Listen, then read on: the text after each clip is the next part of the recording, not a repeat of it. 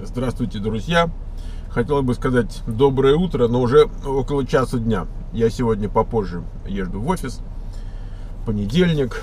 И надо сказать, что за сутолокой, так сказать, дней я совершенно пропустил некоторую годовщину. Вообще мы, мы все в годовщинах, тут у нас годовщин много, но мы все в годовщинах, и одну я пропустил. Вот эта годовщина была третья годовщина э, существования нашего канала в его нынешнем формате, когда э, я сказал, будем делать блог, а не просто вывешивать там какие-то репортажи о встречах в аэропорту и там, может быть, иногда путешествиях. Вот будем делать блог.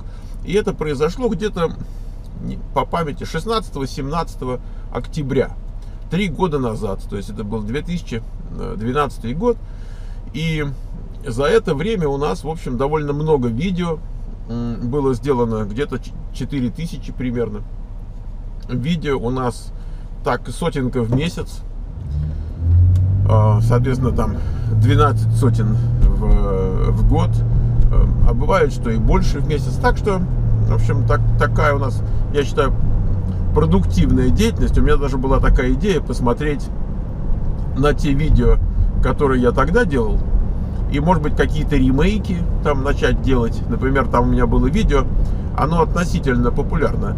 И до сих пор э, там основные ошибки, которые люди делают в эмиграции, например. Вот. Но тогда нас было мало. И просмотры в основном идут от поиска, может быть, какого-то. То есть у нас не было такой массы э, зрителей, подписчиков, которые могли бы сейчас накинуться там и, и посмотреть. Вот. А там первые, наверное, полсотни видео, это были видео, которые шли, ну, с одной стороны, по вопросам, которые там падали на меня, э, даже тогда. Начиналось с полутора тысяч подписчиков. Тот, в этот момент, три года назад, в этот момент у нас было полторы тысячи подписчиков. Тысячу четыреста, там что-нибудь такое. Вот. Я даже не следил за этим номером, мне не интересно было, я не знал, зачем вообще нужны подписчики, никогда не думал об этом. Очень удивлялся, что у нас есть какие-то подписчики, я думаю, а чего они подписывают? Вот, значит, а дальше уже, конечно, там все изменилось, и э, я подумал, надо делать какие-то ремейки. Ну, посмотрим, я не, думаю, что как бы ремейки это наш основной жанр, но, может быть, иногда там что-нибудь такое. Вот. Что еще за юбилеи у нас тут подходят? У нас подходит юбилей со Светланой. Мы поженились с ней 22 ноября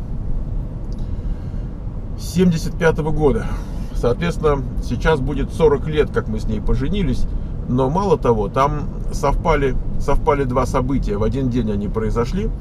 Это мы уезжали из э, СССР на ПМЖ в Соединенные Штаты 22 э, ноября 1990 года. То есть это был день 15-летней годовщины нашей так сказать, совместной семейной жизни. Поэтому эм, у нас сейчас будет тоже как бы совместная такая. То есть с одной стороны мы 40 лет вместе, ну как бы официально, вот муж и жена 40 лет. И в этот же самый день у нас будет 25 лет с того дня, как мы приехали в Соединенные Штаты. Это было 22 ноября 90 -го года.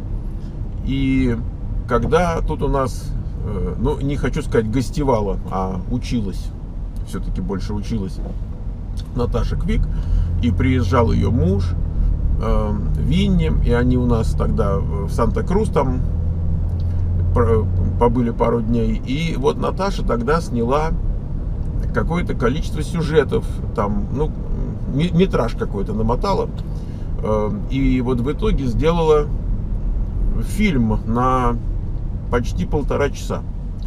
Э, какой-то посвященный вот нашему э, юбилею, именно семейному, не иммиграционному, семейному. И там довольно, довольно здорово у нее получилось, надо сказать, но там много таких моментов деликатных, и Света вот не чувствует себя, допустим, так на, настолько расслабленный по этому поводу, чтобы весь фильм где-то был, но я думаю, что и Наташа на своем канале, и я на своем, мы какие-то фрагментики оттуда будем э, выдергивать э, и вам показывать. Я просто хотел, чтобы вы знали, что есть такое дело, и не удивлялись, когда оно появится. Вот как раз у нас осталось уже меньше месяца, так что я, может быть, там, не знаю сколько, пяток, пяток маленьких сюжетиков так вот и, и вытащу. Вот. Ну и, и Наташа тоже, ей, конечно, тоже хочется у себя на канале показать что-то. Да, что еще? А, у нас очень э, противоречивое мнение э, тут по поводу психологов всяких, которых я иногда показываю. В частности, вот э, э, Михаила Бородянского. То есть некоторые с, с энтузиазмом там слушают, а некоторые говорят, зачем вы такое сюда притаскиваете. Значит, у нас разноплановый канал, и я никак не могу э, угодить сразу всем, это в принципе невозможно. Поэтому я думаю так, если кому-то не нравится, ну ты же видишь, что там же написано, имя человека написано и тематика, ну пропусти. Э, я не думаю, что это будет единственное видео, которое э, вот человек пропустит, э, которому это не нравится. То есть, наверное, там есть еще много других видео, но вот он, может быть, не жалуется там, а дело такое, но вы можете почитать комментарии, вы увидите, что многие ждут именно, именно этих, этих сюжетов. И кроме того, тут есть такая функция важная, что все-таки значит, Михаил приезжает э, через пару недель в Кремниевую долину, и тут у него будет несколько занятий, которые он проведет. Поэтому моя задача была показать э, человека с тем, чтобы люди, которые тут на местности, могли определиться, насколько им хочется пойти на конкретные живые занятия. Поэтому э, это не, не столько для аудитории, которая находится за пределами. Ой, ты смотри, э, съехала камера у меня, я извиняюсь. Э, не столько для аудитории, которая находится за пределами Кремниевой долины, сколько для тех, кто находится именно тут. Поэтому, если это кого-то огорчает, я, я извиняюсь, но просто жизнь такая значит, как бы есть соображения, которые а, побуждают там это показывать. А, той мере, в какой там никакого зла в этом нет или там что-то такого, я думаю, что ничего страшного. Все люди взрослые, все в состоянии там не смотреть то, что их не интересует. Я, я не вижу проблем никаких. У нас, у нас нет одной линии, э, единственной, одной единственной линии, и это хорошо. Это позволяет нам как бы иметь э, ну, ну такую аудиторию с широким кругом интересов. Э, даже иммиграционная тема, которая большинство из наших так сказать, зрителей интересует, не интересует сразу всех. Мы знаем, что есть люди, которых это дело не очень интересует. Ну, ну что теперь делать?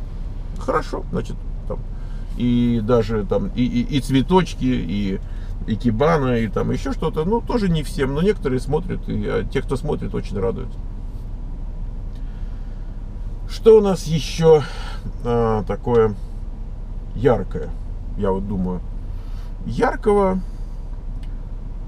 так как-то рутина, а, бытовуха, можно сказать.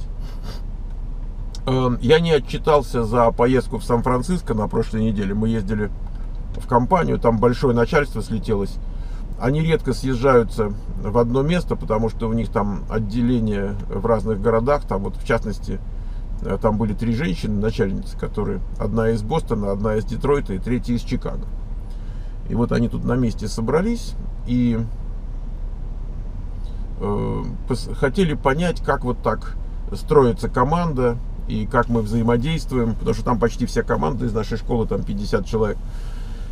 Ну и мы договорились, что они нам будут проектов больше давать. Мы же для них еще тестируем тоже в школе. У нас есть помещение и Э, значит, вот Анна, которая в Гугле работала, значит, она у нас ведет эти проекты для них.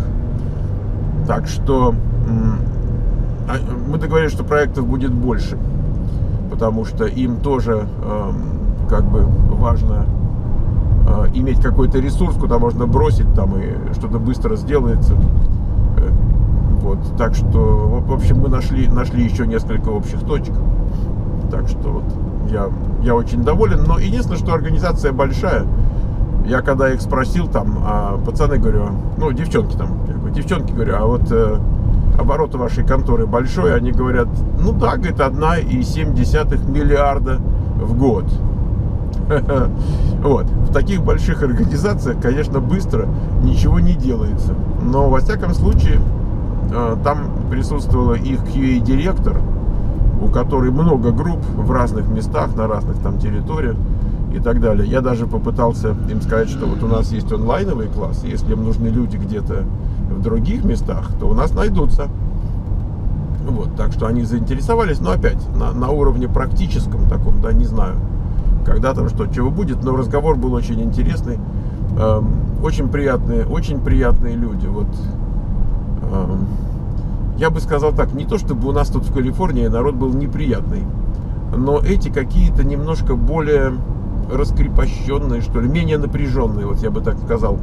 Наверное, им не приходится там по 14 часов в день там э, то с Индией там конференция, то там с Бразилией, то есть чувствуется, что они, хотя и заняты очень, и, конечно, у них серьезнейшие проблемы решаются. Я когда послушал, чем они занимаются, знаете, у меня в глазах потемнело от ужаса. То есть там эти решения, которые они принимают, они многомиллионные последствия имеют в долларах. Ну и вообще в серьезных вещах. Потому что э, индустрия паблишинг, издательская вот эта вот э, индустрия, она переживает колоссальный сейчас такой перестроечный момент. Постоянные споры, там, допустим, переходить ли им на какие-нибудь там планшетники, или смартфоны. Вот, допустим, должен ли студент там университета делать там тест какой-нибудь на смартфоне, или все-таки мы хотим, чтобы у него там был компьютер и так далее. То есть у, у них масса дискуссий, вот что, что имеет смысл, что не имеет. Они делают книги, книги обычные печатают. Это второй э, в стране паблишер по масштабам после Пирсона. Пирсон тоже очень известная большая компания, вот они вторые. Но у них разное видение с этим Пирсоном, они своим путем идут. И, в общем, я когда их послушал, какие задачи перед людьми стоят, и... Ой-ой-ой-ой. А что мне понравилось, они, я, я говорю, как же вы же спите с этим? Они говорят, Майкл, говорит, такого эксайтмента никогда в жизни не было, тут как сейчас. Ну вот, они так уже постарше, ну, так ближе к моему возрасту, там, девчата, можно сказать, очень, очень интересно. Ну вот, наверное, и такой, значит, э, коротенький отчет за последнее время. Так, так, все хорошо. Все хорошо, все э, ровненько так идет.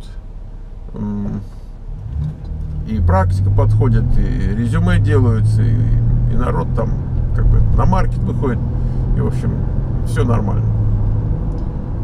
Все нормально. Ладно, буду с вами прощаться потому что я уже практически приехал, а каких-то таких ярких новостей у меня нет. Счастливо!